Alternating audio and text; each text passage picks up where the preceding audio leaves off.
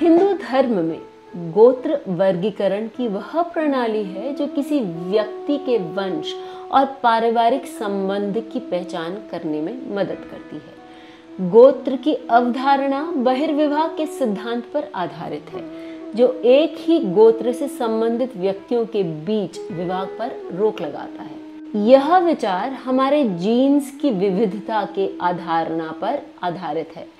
क्योंकि माना जाता है कि समान जीन्स वाले व्यक्तियों के बीच विवाह से जेनेटिक बीमारी और डिसऑर्डर्स की संभावना बढ़ जाती है। वैदिक ग्रंथों के अनुसार सात प्राथमिक गोत्र हैं, अर्थात भृगु, विश्वमित्र, कश्यप, अत्रि, वशिष्ठ, गौतम और भरद्वाज।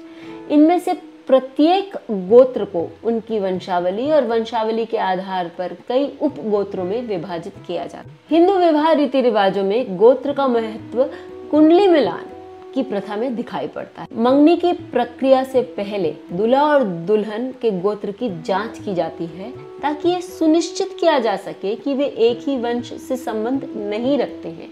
ऐसा माना जाता है कि ये प्रथा पति पत्नी के बीच जेनेटिक विविधता और अनुकूलता सुनिश्चित करती है।